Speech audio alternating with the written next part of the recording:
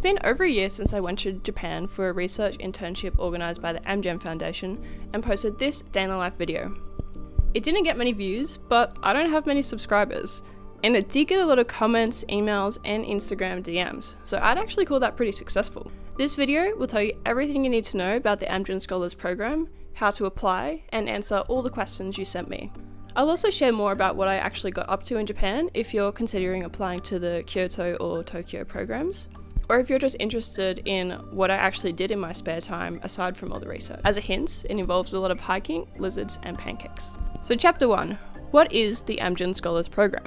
Amgen Scholars is a summer research program in biotechnology and medical research open to undergraduate university students. The basic premise is on your summer break, you'll travel to a host university and you'll spend two months in the lab doing real scientific research under the guidance of the specific lab leader that you applied to. When I participated, my flights and accommodation were paid for, and we got a small stipend to cover things like food. During the program, you'll also get the chance to make new friends with other scholars from all around the world, which was really cool. And at the end of the program, you'll get the chance to attend their symposium, where you'll present your research, learn from all the other scholars and what they did over the two months. And you'll also hear from industry and biotechnology leaders, which I found pretty helpful and interesting. I also found this program to build my independence as we navigated public transport and day to day activities in a country with completely different culture and also a language that we didn't speak. Most of all, it also taught me how to make the most of every day as I was able to fit in plenty of travel and exploration in amongst the full time research. Chapter 2 Application Process. So you can find the application process on the website. They have quite a few host universities around the world, although it looks like they've changed it so that you can only apply to the program in your own region, but that's okay. To be eligible, you must have completed at least the first year of your bachelor's degree and not have graduated. You don't need any research experience or even a science major. You just need to be enthusiastic about science and really keen to work over your summer break. Once you've chosen a university, you'll need to select one of the laboratories to work with. You can read through all the options here and see which you find the most interesting. There's no preferencing, and you can only apply for one lab, so choose carefully. When I applied, I had to send through my resume, current transcripts, letters of recommendation, and most importantly, a statement of purpose. This is pretty straightforward. It's just one page about why you chose your specific lab group and what you hope to learn, and then just a one page research proposal, including background and purpose, which methods or techniques you might use, and then what you expect the results to look like. What they're looking for in the first page is genuine interest in science and in the specific chosen lab group or topic. On the second page, they just want to see that you know how to apply science to answer a problem. Remember, this is something you're meant to produce on your own without the help from other people at your university. Don't stress too much about the specific project. Your supervisor will probably give you a different one when you meet in person anyway. The program is quite competitive, and because you only get the chance to apply for one lab group at a time, this means that some lab groups will be more competitive than others. You make of that what you will. Don't be discouraged if you aren't successful, you can always reapply next year if you apply early in your degree. And there are plenty of other options for gaining research experience. For example, my university lets you do a short research project um, with any of the professors for course credit, um, including over your summer break. Chapter 3 Your Questions. By far the most common question I was asked was how do you write a research proposal on a topic that you are unfamiliar with? And just to reiterate, they know that you're not going to be an expert, so don't worry too much about this. So you do need to try and be original here, um, and it is meant to be challenging. They just want to pick out the students that are actually keen to learn a lot of new science and have the capacity to think somewhat independently. Spend some time researching um, your specific topic online and think about the things that you've learned so far at uni and how you might be able to incorporate that into your proposal. Here's how I structured mine.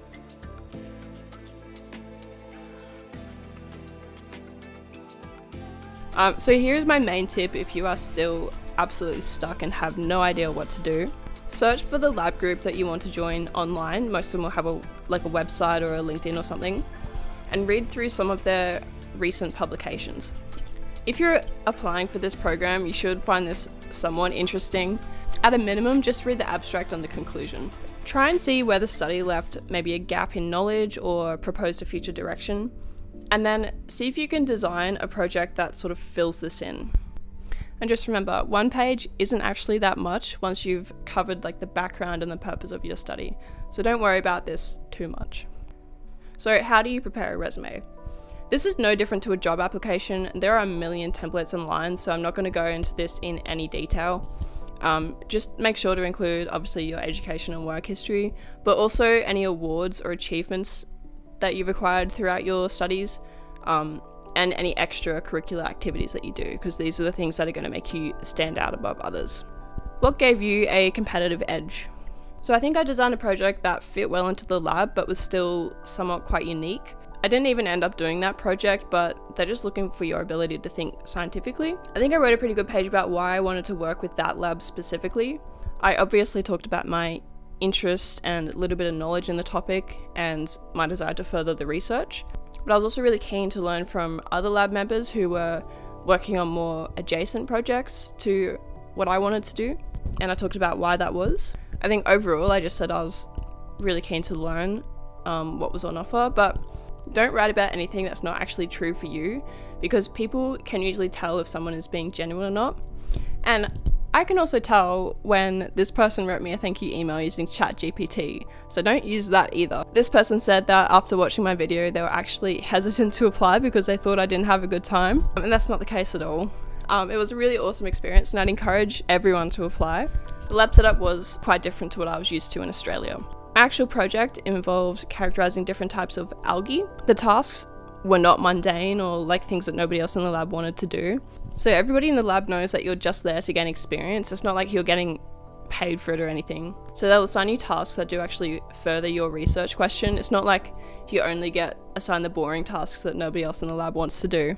So yeah, I definitely wouldn't say that the tasks were mundane or anything. Um, I just did discover that I didn't want to study algae, and that's also a very fine thing to learn. I still had a really good time and um, learned some valuable science and techniques. And actually, at the symposium towards the end of the program, we had a few talks by some people involved in medicine. So, obviously, Amgen is a biotech and like medical pharmaceutical company. And some of these talks actually made me, for the first time, consider medicine as a career. And I've actually just made the decision to start medicine next year. So, I think I have the program to thank somewhat for uh, helping me decide what I want to do after. Although I will say, I think it is important to set boundaries when you're actually there. Um, I think there was about 20 people in the cohort at Kyoto University when I was there, um, and some of them would stay in the lab till like 7, 8 o'clock at night, and they'd just be working non-stop the whole time. Some of them enjoyed it, and you know, good for them, but that was definitely not the lifestyle for me, and I think my specific lab group was a little bit different as well in terms of their lab culture. Um, so I would leave every day, often around 3 or 4 pm, because my experiment would be kind of finished. You have to let them incubate overnight or whatever. Um, so yeah, definitely set boundaries. If it gets to 5 pm and you want to clock off and actually have dinner, there is nothing keeping you there. There should be no expectation for you to stay later than you need to. Just don't be afraid to set yourself boundaries but make sure you're still getting everything done at the same time. Chapter 4 My time in Japan outside of research. So, a big part of the experience for me was the other opportunities I had outside of research, and I'm just going to ramble for a bit here about what I got up to because I think it was actually kind of cool. So, we were quite lucky to travel to Japan in the middle of 2022, which was sort of just at the tail end of COVID restrictions. And Japan wasn't actually open to tourists at the time, which meant that we got the chance to be in Japan when there are no tourists. So this is the famous Arashiyama bamboo forest, which is normally swamped with people, but when we went there it was completely empty. And yeah, so experiencing Japan like this was actually pretty special. For context about what I did with the rest of the time, I quite enjoy herping and wildlife photography, and before I left, I'd actually messaged somebody online who was an ecology student at Kyoto University who spoke English, luckily. At the beginning of my project, I had to let my algae culture for five days, and my supervisor let me take that time off. So I jumped on a plane and flew down to Okinawa. Um, and that friend that I had messaged online hooked me up with some of his other friends. And I was just traveling by myself, by the way. And I just met up with this random guy and we hopped in his car and um, went road cruising and we found some cool like frogs and lizards and stuff. Um, and then The next day, I met up with this other guy who's doing his PhD on sea snakes, and he took me scuba diving, and that was really cool. So I decided to start running in the mornings when I was in Kyoto. And this actually sort of kick started my running bout that has lasted me more than a year until now. And in that time, I've um, got a coach and actually won a few races, which is pretty cool. On one of my early morning runs, I actually stumbled into this giant salamander at 6 a.m., and that was probably one of the coolest wildlife encounters I have ever had. Um, the video I made about it actually got like 7 million views on TikTok, which I found pretty funny because I literally never used TikTok before. I also tried almost every souffle pancake in the country. And let me tell you, there's one that is absolutely better than all the others. And that's from a place called Panel Cafe in Kyoto. And I'm telling absolutely everybody who visits Kyoto, they must visit this place. It is so good. I follow them on Instagram now and I just get so jealous all the time. On the weekends, I would catch a train or bus and go for a hike in the mountains just by myself. Um, I also visited Hiroshima and Miyajima, which has these massive oysters. Elise and I also visited the Tottori sand dunes. It looks like a desert. It's sick. I met up with the online friend that I made at Kyoto University a few times and he took me out herping. We did a little weekend trip around Okayama and found a ton of these cool keelbacks and some other nice snakes as well. Towards the end of the project, I took the Shinkansen up to Tokyo and met up with somebody that I met on the program from um, the US and we hiked up Mount Fuji together. So we started hiking at 7 pm and hiked all through the night. There are little stations along the way where you can buy snacks as well and take a little break to adjust to the altitude. It was really challenging, but we eventually got to the top just in time for the sunrise, and that was absolutely spectacular. Did a little walk around the uh, crater on the top. I think Aline, my friends, um, posted a postcard. Like there's a little post office right at the top, and they'll put a stamp on it that says uh, this postcard was posted from the top of Mount Fuji, which is pretty cool. There was tons of people up there, but it really didn't feel crowded at all. I'd recommend packing some warmer clothes than I did for the top though, because it gets really cold. And running back down was pretty fun. We got back to the bottom at like 8 a.m. I think. It was also the first real all-nighter that I ever had, and I, I defined this as not sleeping until nighttime the next day.